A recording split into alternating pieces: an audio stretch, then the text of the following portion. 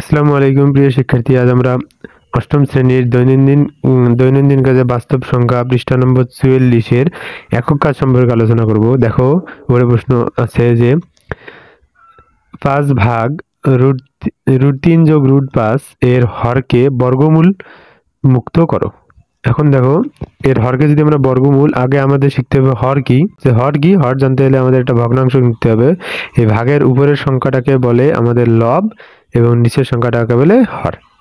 তাহলে হরকে বর্গমূল মুক্ত করতে বলছে অর্থাৎ রুট ওভার। আমরা জানি যে বর্গমূলটাকে কি বলে? রুট কি কি বলে? বর্গমূল। এটাকে বর্গমূল মুক্ত করতে হবে। তাহলে আমরা এর সমাধান করি।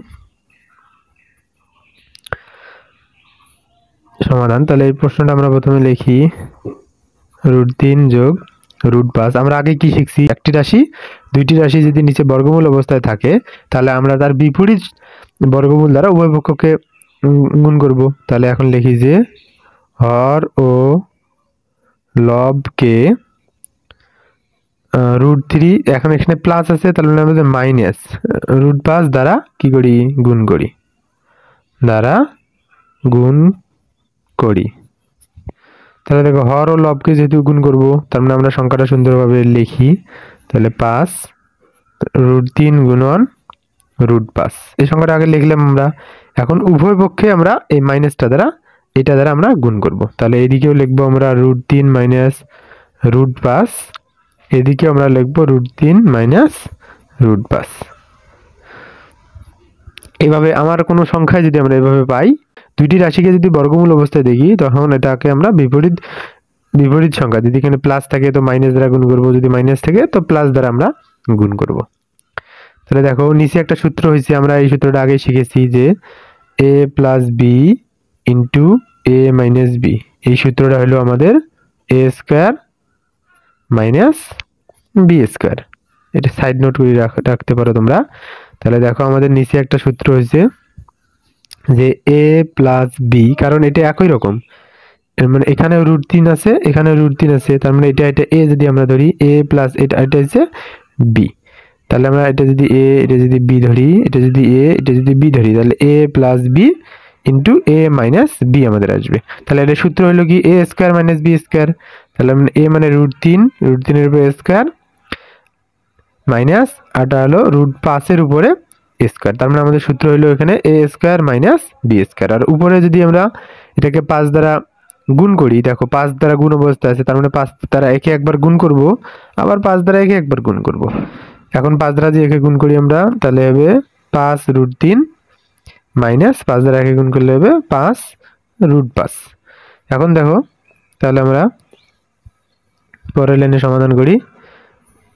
তাহলে এখানে আমরা জানি স্কোয়ার আর রুট সবসময় কাটা যায় স্কোয়ার এবং রুট সবসময় কাটা যায়, তাহলে এখানে থাকে কি তিন মাইনাস পাঁচ, আর উপরে থাকে উপরে থাকে আমাদের পাঁচ রুট তিন বিয়োগ পাঁচ রুট পাঁচ।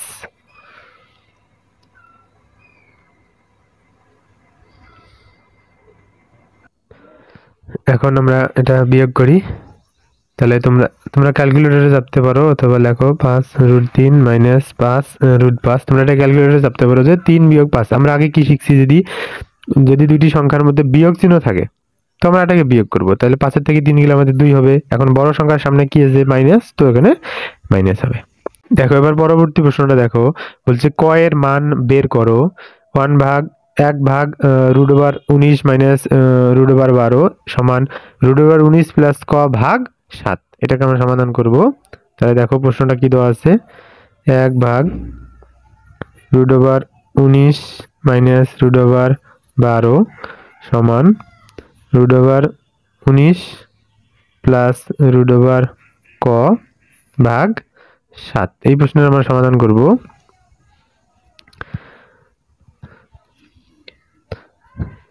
সমাধান।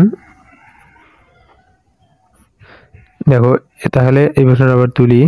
এক ভাগ রুট ওভার উনিশ মাইনাস রুট ওভার বারো ইকুয়াল রুট ওভার উনিশ প্লাস রুট ওভার ক ভাগ সাত। আমরা আগে কি শিখলাম? যে যদি দুইটি রাশি, যদি দুইটি রাশি ভগ্নাংশ যদি দুটি রাশি বর্গমূল অবস্থায় থাকে, তো এটা সমাধান করার সময় আমরা এর বিপরীত রাশি দ্বারা গুণ করব। তাহলে দেখো এখানে মাইনাস আছে। তো হর এবং লবকে কি করব? প্লাস দ্বারা গুণ করব। হর ও লবকে রুট ওভার উনিশ। এখানে যেহেতু মাইনাস আছে, তো প্লাস দিয়ে গুণ করব। প্লাস বারো দ্বারা কি করি? গুণ করি। তাহলে আমরা এটাকে গুণ করি।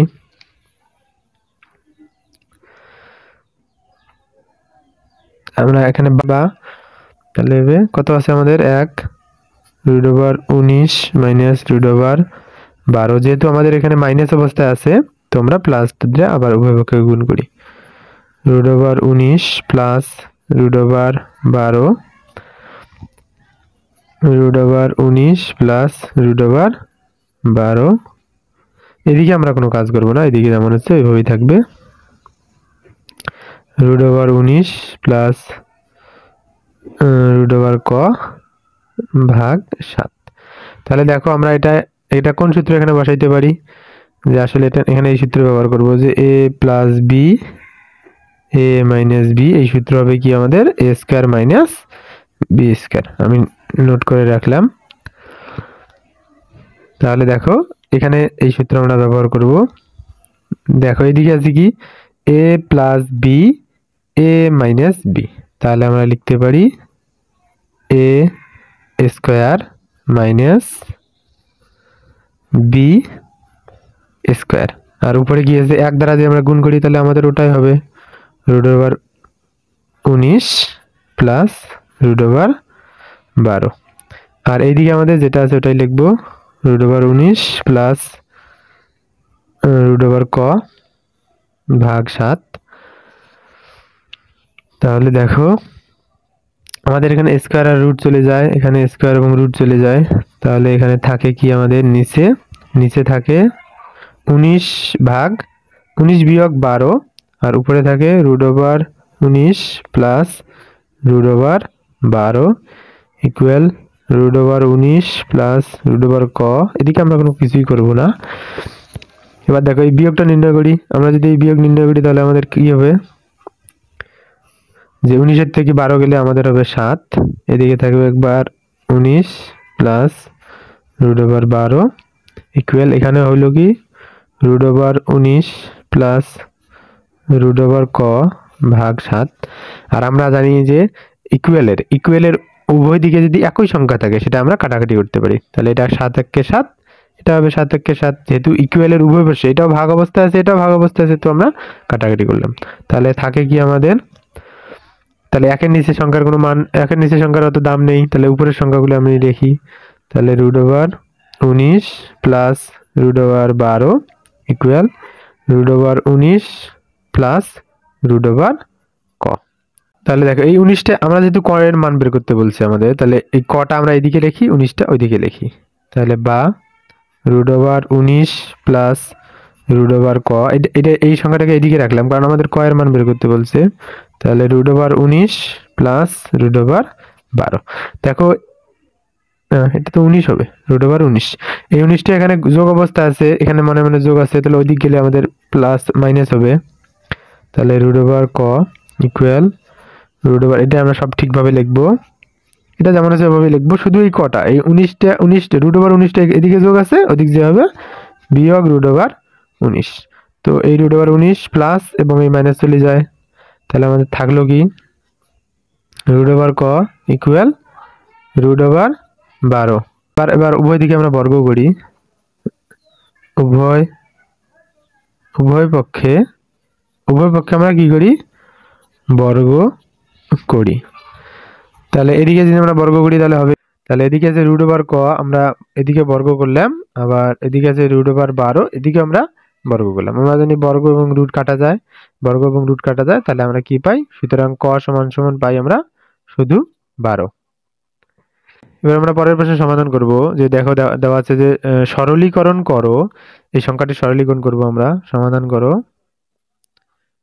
এই সমাধান করব আমরা। তাহলে দেওয়া আছে কি? যে এক ভাগ নয় প্লাস রুট তিন প্লাস এক ভাগ তিন প্লাস রুট দুই। আমরা একটু আগে কি শিখলাম যে যদি দুইটি ভগ্নাংশ আমরা পাই, যে দুটি যদি রাশি আমরা পাই, এই রাশিটার আমরা উভয় পক্ষে বিপরীত রাশি দ্বারা গুণ করব, তাহলে এটা ভিনিশ হয়ে যাবে। কিন্তু এখানে আছে আমাদের দুইটি রাশি। এখানে একটি রাশি, এখানে একটি রাশি এসেছে, এখানে একটি রাশি এসেছে। আবার রাশির ভগ্ন, এইদিকে হরের আবার একটি সমস্যা, এইদিকে হরে একটি সমস্যা, তাহলে আমরা উভয় পক্ষে আমরা ঠিক বিপরীত রাশি দ্বারা গুণ করব। দেখো, তাহলে আমাদের এখানে কয়টি রাশি পাবো? এখানে একটা পাবো, এখানে একটা। দুইটি আমরা পাবো। তাহলে এখানে কি দেওয়া আছে? এক ভাগ নয় যোগ রুট তিন। তাহলে এটাকে এর বিপরীত সংখ্যা দিয়ে গুণ করব। এখানে নয় যোগ আছে, তো আমরা কি দিয়ে গুণ করব? নয় বিয়োগ রুট তিন। তাহলে উপরে আমরা একই কাজ করব, নয় বিয়োগ রুট তিন দিয়ে গুণ করব। আর এই দিকে দেখো, অপর রাশিতে কি আছে? এক ভাগ তিন প্লাস রুট দুই আছে। তো আমরা কি করব? এর বিপরীত রাশি দ্বারা গুণ করব যে তিন মাইনাস রুট দুই দ্বারা নিচেও যেমন গুণ করব, আবার তিন মাইনাস রুট দুই দ্বারা উপরেও আমরা গুণ করব।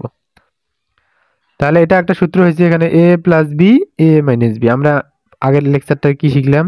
যে A plus B A minus B সূত্র হয়েছে এ স্কোয়ার মাইনাস বি স্কোয়ারের আর উপরে যদি নয় দিয়ে গুণ করি, তাহলে আমাদের ওইটা হবে নয় এককে নয় মাইনাস রুট তিন ওটাই হবে। তাহলে এইদিকে যদি এবার লক্ষ্য করি একইভাবে হবে A plus B into A minus B তাহলে হলো A square minus B square আর উপরে যদি তিন, আমরা যদি এক দিয়ে গুণ করি, তাহলে ওটাই হবে তিন মাইনাস রুট দুই। তাহলে এবার লক্ষ্য করো যে এখানে স্কোয়ার আর রুটে চলে যায়। এখানে স্কোয়ার আর রুটে চলে যায়। তাহলে আমাদের থাকে কি? এদিকে নয়ের উপরে বর্গ, তার মানে নয় হচ্ছে দুইটা, নয় নয় একাশি। তোমরা আবার নয় দুগুণ আঠারো কখনো লেখো না। এটা নয়ের উপরে বর্গ অর্থাৎ হচ্ছে নয় দুইটি। নয় গুণন নয়। তাহলে নয় যদি দুইটি হয়, তাহলে নয় নয় হবে কত? একাশি। আর এখানে স্কোয়ার রুট কাটা গেলে থাকে তিন। উপরে যা আছে আমরা তাই লিখব। প্লাস আবার এদিকে তিনের বর্গ, তাহলে তিন তিন দুগুণ ছয় না। তিন এসে দুইটা। তিন তিনটি কি হবে? নয়। মাইনাস এখানে দুই। উপরে থেকে তিন মাইনাস রুট দুই। দেখো এটাকে যদি আবার আমরা সমাধান করি বিয়োগ করলে কত হবে এখানে? এখানে হবে আটাত্তর, আর এখানে থাকবে নয় বিয়োগ রুট তিন। এখানে থাকবে কত? তিন বিয়োগ রুট দুই ভাগ নয় থেকে দুই গেলে হবে সাত। এখন আমরা এটা এটা কি যোগ করা তো সম্ভব না। এরকম যদি কোনো ভগ্নাংশ থাকে, এই ভগ্নাংশ যোগ করা সম্ভব না। এই ভগ্নাংশকে আমরা আমরা লসাগু পদ্ধতিতে আমরা যোগ করব। তাহলে দেখো আটাত্তর আর সাতের, এটা কি লসাগু কিন্তু যায় না। তার মানে যদি কোনো সংখ্যা হরের যদি লসাগু না হয়, তাহলে আমরা ওই হরটা সম্পূর্ণটাই লিখব। আটাত্তরও লিখব, আবার সাথে লিখব। যদি লসাগু যাইতো, তখন আমরা লসাগুর মাধ্যমে সমাধান করতাম। যেহেতু লসাগু যায় না, সবে হবে। তাহলে দেখো, এই ভগ্নাংশের হর হলো আটাত্তর, কিন্তু আমাদের এখানে আটাত্তরের সাথে সাতও আছে। তার মানে আটাত্তরের সাথে সাত এক্সট্রা আছে। তো এই হর, লবকে আবার সাত দিয়ে গুণ দিতে হবে তখন। সাত গুণন নয় মাইনাস রুট তিন। তাহলে পরে দেখো যে এর হরে কত আছে? সাত, এখানেও আছে সাত, তার মানে এর হরে কিন্তু আটাত্তর নেই তো? আটাত্তর দিয়ে এটাকে গুণ দিতে হবে। তার মানে যে আটাত্তর ইন্টু এটা হবে যে তিন মাইনাস রুট দুই। তাহলে আমরা এখন এলে গুণ করে দেই। এখন যদি আটা এটাতে গুণ করি তাহলে সাতাশটে, ছাপ্পান্ন, ছয় হাতে থাকে, পাঁচ সাতশো উনপঞ্চাশের পাঁচ, চুয়ান্ন। আর উপরে, এখন দেখো এই সাত গুণ অবস্থা আছে, তাহলে সাত দিয়ে একবার এটাকে গুণ দিব, সাত দিয়ে একবার এটাকে গুণ দেবো। তাহলে সাত নং তেষট্টি। বিয়োগ সাত দিয়ে এটাকে তো গুণ যায় না, তাহলে আমরা ওটা লিখব সাত রুট তিন প্লাস এখানে সেম গণনা ঘটবে। তাহলে আটাত্তর দিয়ে একবার তিনকে গুণ দিব, আটাত্তর দিয়ে একবার রুট টুকে গুণ দিব। আটাত্তর দিয়ে তিনকে গুণ দিই তাহলে তিন আসতে চব্বিশ। তিন সাতা একুশ, আর হবে তেইশ। বিয়োগ, আটাত্তর দিয়ে তোকে রুট টুকে গুণ করা যায় না, তাহলে হবে আটাত্তর রুট টু ওখানে হবে। নিচেরটার কোনো কাজ নেই হর যেমন যেমন থাকবে। পাঁচ, সাত, ছয়। উপরে দেখো, উপরে আছে তেষট্টি আর এখানে আছে দুইশো চৌত্রিশ। এটা কিন্তু এখানেও যোগ অবস্থা আছে, এখানেও যোগ অবস্থা আছে। তার মানে দুইটা আমরা যোগ করব। তাহলে চার আর তিন, সাত, তিন তিন আর ছয়, নয়, দুই, এখানে দুই হবে। আর এখানে যেহেতু হচ্ছে রুট তিন, এখানে রুট দুই, তাহলে এটা বিয়োগ বা যোগ করা কখনোই সম্ভব না। ওটা যেভাবে আছে আমরা ওভাবেই রাখব। আটাত্তর রুট টু তাহলে এটাই আমাদের সরলীকরণ।